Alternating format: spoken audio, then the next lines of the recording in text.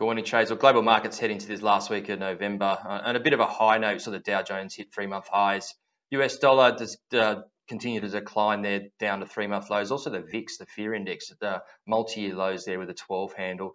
Uh, going ahead, the week ahead, um, some of the charts I'll be watching. The Euro US will be an important one. Uh, we saw that drift a bit higher last week um, did take that important 109 level, which is a, a big psychological level. Got some big figures inflation wise from Europe and the US that could see um, some volatility in that pair, starting with Spanish and German inflation on Wednesday and followed by the Fed's uh, favourite inflation gauge, the PCE reading on Friday. So key levels to watch, uh, 109 level. There was a lot of chop around that level last week. Uh, and the resistance to the upside there at 110.65. Uh, gold saw a positive week um, as the bulls really took advantage of, of, a weaker US dollar and yields pretty much went nowhere for the week too.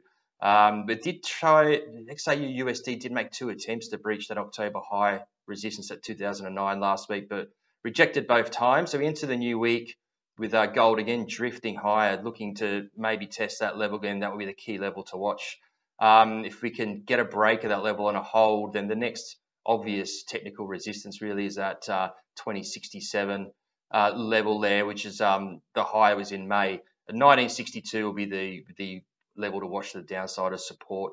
Uh, oil, crude oil, crude oil. I mean, enters this week after five down weeks in a row, um, just sitting above 75 US dollars a barrel. So this one's an interesting week though, with the delayed OPEC Plus meeting taking place on Thursday. Um, possibility that the Saudis and Russians could extend or deepen their voluntary curbs uh, to support the crude price.